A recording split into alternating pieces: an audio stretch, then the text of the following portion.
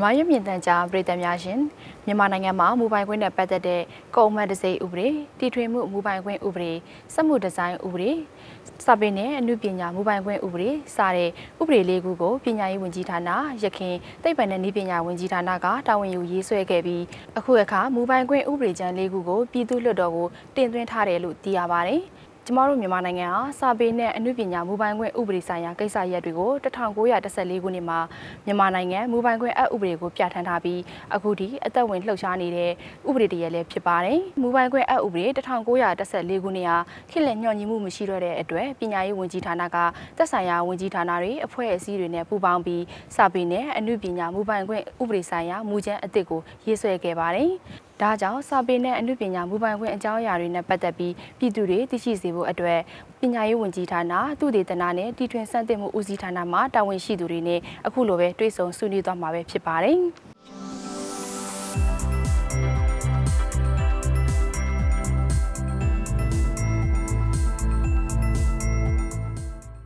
ဆရာမတို့မင်္ဂလာပါရှင်မင်္ဂလာပါဟုတ်ကဲ့ပါရှင်ပထမအဦးဆုံးအနေနဲ့ပေါ့နော်စာပေနဲ့အမှုပညာမူပိုင်ခွင့်အကြောင်းသိကောင်းစရာတွေကိုပြည်သူတွေသိရှိသဘောပေါက်နားလည်အောင်ပေါ့နော်စာပေနဲ့အမှုပညာမူပိုင်ခွင့်ဥပဒေမူကြမ်းရေးဆွဲတာကစပြီးတော့ဆရာမတို့ကရှင်းပြပေးပါအောင်ရှင်ဟုတ်ကဲ့ ကျမတို့မြန်မာနိုင်ငံမှာဆိုရင်စာပေနုပညာမူပိုင်ခွင့်အကာအကွယ်ပေးမှုနဲ့ပတ်သက်ပြီးတော့ဥပဒေတရရှိရဲအဲ့ဒီဥပဒေက1914ခုနှစ်မှာအာအင်္ဂလိပ်ကိုလိုနီရဲ့အောက်မှာ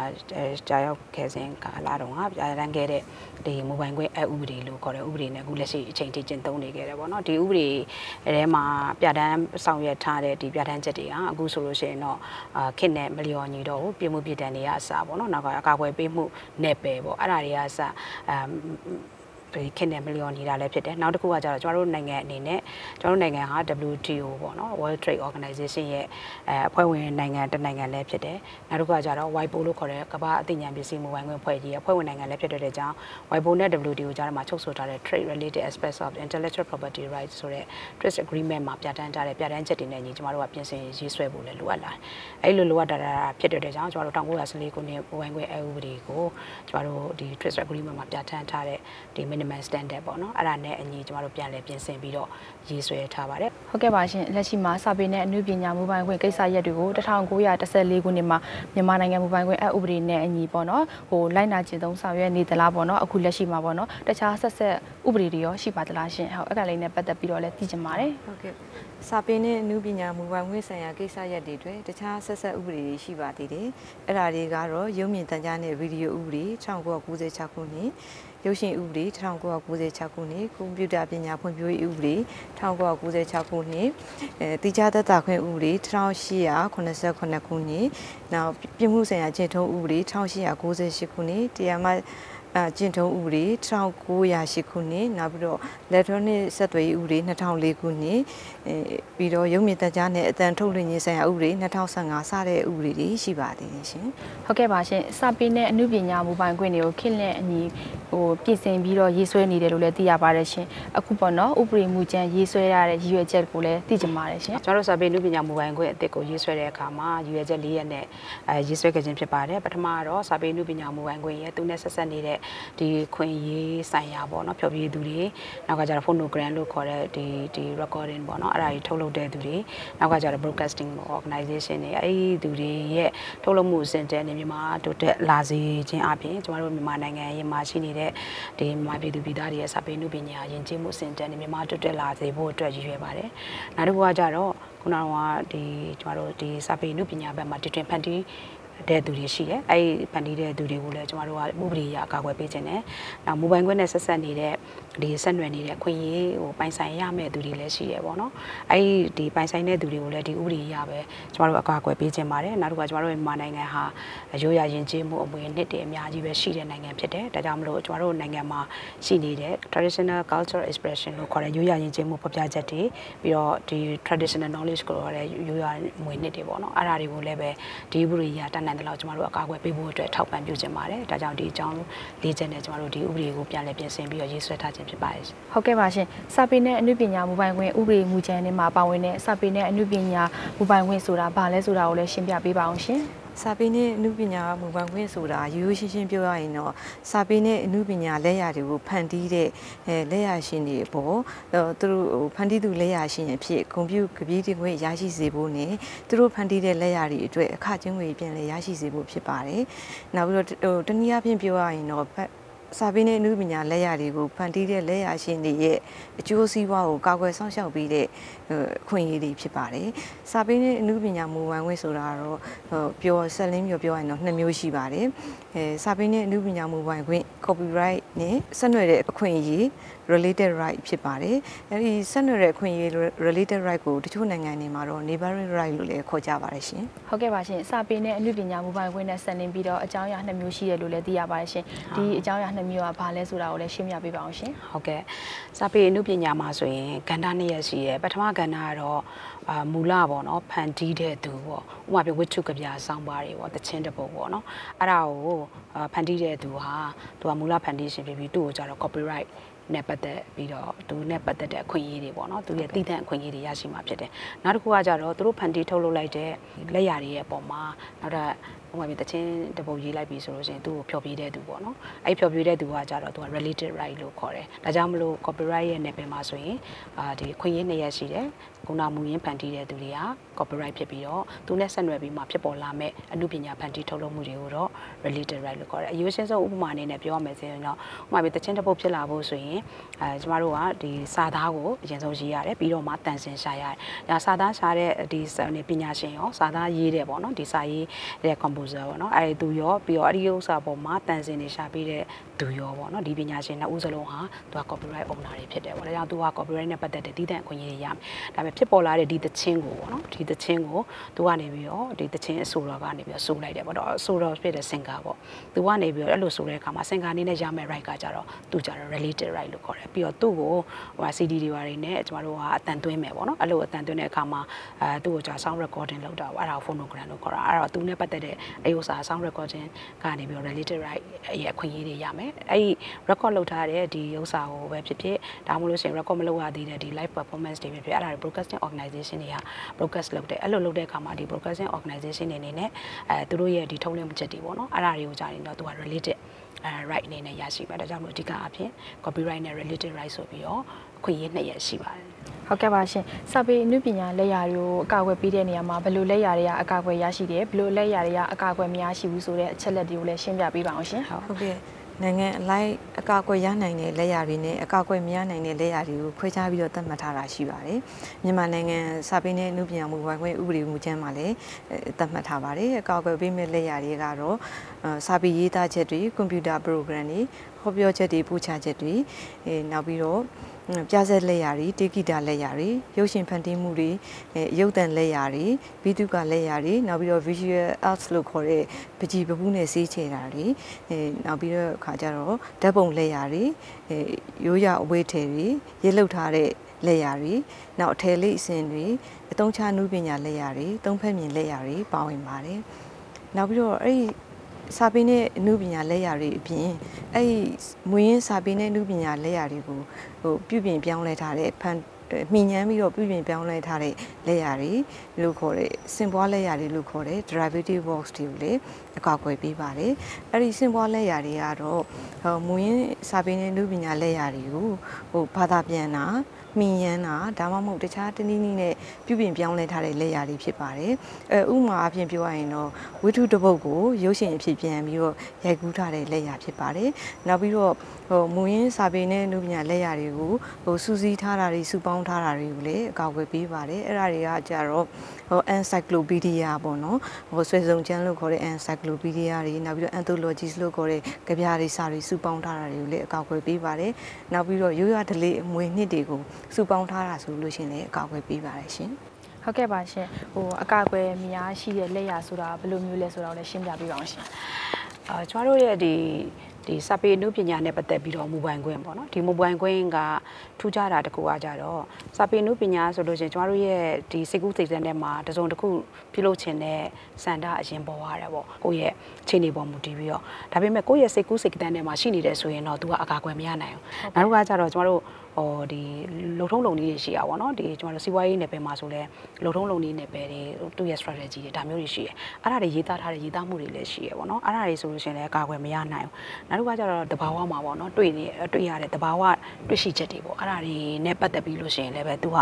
အကာအကွယ်မရနိုင်ဘူးနောက်ပြီးအချက်လက်တွေပဲ facts တွေပဲစူးစီးထားတဲ့အဲဒီစာမျိုးဖြစ်မယ်ဆိုရင်လည်းမရနိုင်ဘူးပေါ့နော်နောက်တစ်ခါကျကျွန်တော်တို့တွေနဲ့အခုသတင်းတွေပေါ့နေ့စဉ်ထုတ်လုပ်နေတဲ့သတင်းတွေအဲ့ဒါတွေအကာအကွယ်မရဘူးနောက်ကကျတော့ဥပဒေတွေပေါ့နော်ကျွန်တော်တို့နိုင်ငံတော်ကထုတ်လုပ်လိုက်တဲ့ဥပဒေတွေ new ဥပဒေတွေနောက်ကကျတော့ကြော်ညာချက်တွေပေါ့တရားစီရင်ချက်တွေပေါ့နော်ပြီးတော့အမိန့်တွေပေါ့နော်အဲ့ဒါတွေအကုန်လုံးကတော့အဲရေးသားတာတော့ရေးသားတာတော့တူတူပဲဒါပေမဲ့လည်းပဲသူကတော့အကာအကွယ်မရနိုင်တဲ့အဲစာပေနုပညာလက်ရလို့တဲမှာထည့်ထားတာပေါ့နော်ဒါကြောင့်မလို့အာစာပေနုပညာမူပိုင်ခွင့်မှာဆိုလို့ရှိရင်အဲကိုမူပိုင်ခွင့်ရနိုင်တဲ့လက်ရနဲ့မူပိုင်ခွင့်မရနိုင်တဲ့လက်ရရဲ့လို့အဓိကအဖြစ်နှမျိုးပိုင်းခြားထားတယ် ဟုတ်ကဲ့ပါရှင်အကာအကွယ်ပေးခြင်းခံရတဲ့လက်ရတွေမှာရောတတ်မှတ်ချက်လေးတွေရှိပါသလားရှင်စာပေနဲ့အမှုပညာလက်ရတွေကိုဖော်ပြတဲ့နီလန်ပေါ့နော်နောက်ပြီးတော့စာပေနဲ့အမှုပညာလက်ရတွေပုံသဏ္ဍာန်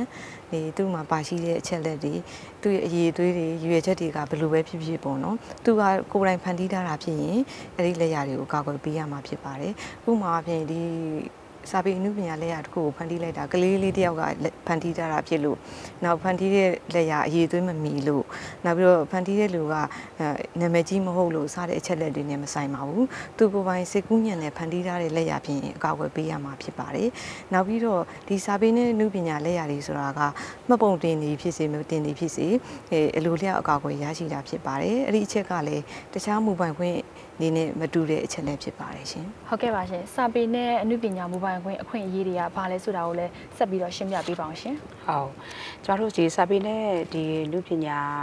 နဲ့ပတ်သက်ပြီးတော့မူပိုင်ခွင့်မှာနှစ်မျိုးရှိရပေါ့နော်အဲ့တော့အဲ့ဒီနှစ်မျိုးကတော့ပထမကတော့သူနဲ့ပတ်သက်တဲ့ဒီ economic right လို့ခေါ်တာပေါ့ economic right ဆိုတာစီးပွားရေးဆိုင်ရာအခွင့်အရေးတွေပေါ့နောက်တစ်ခုကကျတော့ moral right လို့ခေါ်တဲ့ဇာတိတာပိုင်းဆိုင်ရာအခွင့်အရေးဆိုပြီးတော့အခွင့်အရေးနှမျိုးရှိပါတယ်အဲ့တော့အခွင့်အရေးမှာဆိုရင်ဥပမာပြ moral right ပေါ့နော် moral right ဆိုလို့ရှိရင်စာပေတစ်ပုဒ်ကိုရေးလိုက်ပြီးဆိုလို့ရှိရင်အဲ့ရေးသူရဲ့နာမည်ဟာအာသူဟာတစ်တလုံးပေါ့နော်သူဖော်ပြခွင့်ရရမယ်သူတည်သွားပြီးတဲ့နောက်ပိုင်းမှာလည်းပဲဒီသူ့ရဲ့ဒီစာပေရေးသားသူကသူပဲဖြစ်တယ်ပေါ့တခြားလူကတာပြီးတော့ substitute လုပ်လို့မရတော့ဘူးတော့အဲ့ဒါသူ့ရဲ့အဲ moral right နဲ့ဆိုင်တဲ့အခွင့်အရေးဖြစ်တယ်ပေါ့နောက်တစ်ခုကကျတော့သူရေးရေးသားတည်ကုန်းဖန်တီးထားတဲ့ဒီလက်ရာပေါ်မှာတစုံတစ်ယောက်ကနေပြီးတော့ဒီလက်ရာရဲ့ဒီအနှစ်သာရပေါ့နော်လက်ရာပြတ်သွားအောင်တစုံတစ်ခုဖန်တီးသွားတယ်ဆိုလို့ရှိရင်လည်းသူက moral right ရအဲသူက အာဒီသူ့ရဲ့ရတာပေါ့နော်ပြတ်သွားအောင်လုပ်တာဖြစ်တဲ့ကြောင့်အဲ့ဒါမျိုးလည်းကန့်ကွက်ပိုင်ခွင့်ရှိတော့အဲ့ဒါ moral right နဲ့ကန့်ကွက်တာပေါ့နောက်တစ်ခုကကျတော့စီးပွားရေးဆိုင်ရာအခွင့်အရေးပေါ့စီးပွားဆိုင်ရာအခွင့်အရေးကကျတော့ तू ကသူကိုယ်တိုင်ပဏိထုတ်လုပ်ထားတဲ့ဒီလက်ရာနဲ့ပတ်သက်ပြီးတော့သူ့မှာတီးတန့်အခွင့်အရေးတွေရှိတယ်အဲ့ဒီတီးတန့်အခွင့်အရေးတွေကတော့ဒီလက်ရာရဲ့အပေါ်မှာ तू ကအဲဒီလက်ရာကို reproduction ပေါ့နော်မူပွားမူပွားခွင့်ရှိတယ်ပေါ့နော်ဒီလက်ရာရဲ့ပေါ်မှာပြီးတော့ဒီလက်ရာကိုနဲ့ပတ်သက်ပြီးတော့ तू ကစီးပွားပြစ်ပေါ့နော် तू အာဒီဒီလုတ်ပေးနိုင်တယ်ဥပမာပြင်ဒီလက်ရာကိုကိုကိုယ်တိုင်ထုတ်လုပ်ရင် ပဲဖြစ်ပေစေအဲနောက်တစ်ခုကကြတော့ဒီထုတ်လုပ်ပြီးမထုတ်လုပ်နိုင်ဘူးဆိုလို့ရှိရင်လည်းထုတ်လုပ်နိုင်တဲ့သူတွေကို license ချပြီးတော့ဗောနော်ဒီဒီခွင့်ပြုချက်နဲ့သူကလုတ်ကန်ခွင့်တွေလည်းသူကပေးပေးနိုင်တယ်ဗောနော်သူရဲ့ moral right ကိုနောက်သူရဲ့ moral right တစ်ခုလုံးပဲဖြစ်ပေစေတစိမ့်တတိတာကိုပဲဖြစ်ပေစေသူကနေပြီးတော့သူကဒီသူရဲ့စီးပွားရေးဆိုင်ရာခွင့်ရည်တွေကိုတစုံတစ်ယောက်ကိုသူ့ကိုယ်စားဗောနော်လွှဲအပ်လုတ်ခံခွင့်တွေကိုလည်းသူကဆောင်ရွက် ပေးနိုင်တယ်ပေါ့နောက်ကကြတော့သူဖန်တီးထုတ်လုပ်တဲ့တိုက်တဲ့ဒီဥစ္စာရဲ့ဒီလက်ရာတွေနဲ့ပတ်သက်ပြီးတော့သူကဖြန့်ချီဖို့ပေါ့နော်ဒီအများပြည်သူသိအောင်အဲ့လိုဖြန့်ချီဖို့အတွက်အဲအဲ့လိုမျိုးအခွင့်အရေးတွေကိုလည်းသူကရရှိသွားမှာဖြစ်ပါတယ်ဆက်နွယ်တဲ့အခွင့်အရေးတွေမှာရှိတဲ့ကိုချင်းသင်္ခါဆိုင်ရာအခွင့်အရေးတွေကတော့ဖြောပြည်သူတွေနဲ့ပုံနေကရန်ထုတ်လုပ်သူတွေရရှိမှာဖြစ်ပါတယ် အဲ့ဒီမှာဆိုလို့ရှိရင်လည်း copyright လိုပဲသူဟာစီးပွားရေးဆိုင်ရာအခွင့်အရေးတွေကိုလွှဲပြောင်းပေးရလို့ရပါတယ်သူ့မှာရှိတဲ့ကိုချင်းသိက္ခာဆိုင်ရာအခွင့်အရေးတွေကတော့ဖြောပြသူတွေဖိုနိုဂရမ်ထုတ်လုပ်သူတွေကရရှိမှာဖြစ်ပြီးတော့ကိုချင်းသိက္ခာဆိုင်ရာအခွင့်အရေးတွေကိုလွှဲပြောင်းပေးရလို့မရပါဘူးနောက်ပြီးတော့မူလလက်အရှင်ကွယ်လွန်သွားတဲ့အခါမှာဆိုလို့ရှိရင်တော့ကိုချင်းသိက္ခာဆိုင်ရာအခွင့်အရေးတွေကိုဟိုတရားဝင်အမွေဆက်ခံသူကဖြစ်စေဥမူလလက်အရှင်နဲ့သက်ဆိုင်တဲ့ဥပဒေနဲ့အညီငွေဆက်ခံသူကဖြစ်စီဆက်ခံပိုင်ခွင့်ရှိပါတယ်ရှင် ဟုတ်ကဲ့ပါရှင်စာပေနဲ့အမှုပညာမူပိုင်ခွင့်တွေအတွက်စီးပွားရေးဆိုင်ရာအခွင့်အရေးတွေရောဘာတွေလဲဘလို့တွေအခွင့်အရေးတွေရရှိနိုင်မလဲဆိုတာကိုလည်းရှင်းပြပေးပါအောင်ရှင်ဟုတ်ကဲ့ကျမတို့စာပေနဲ့အမှုပညာမူပိုင်ခွင့်မှာအခွင့်အရေးနှစ်ရပ်ရှိတယ်အဲ့ဒါကတော့ခုနကစီးပွားရေးဆိုင်ရာအခွင့်အရေးနဲ့ဒီအချင်းစာရိတာပိုင်းရဆိုင်ရာခွင့်ရေးဆိုပြီးတော့အာနှစ်မျိုးရှိတယ် economic right နဲ့ moral right ဆိုပြီးတော့လေအဲ့တော့ economic right ကိုပိုင်ဆိုင်မဲ့သူတွေကမိုဘိုင်းခွင့်ပိုင်ရှင်နောက်တစ်ခုကကြတော့မိုဘိုင်းခွင့်အခွင့်အရေးရရှိသူတွေကပိုင်ဆိုင်မှာဖြစ်ပါတယ်ဒီ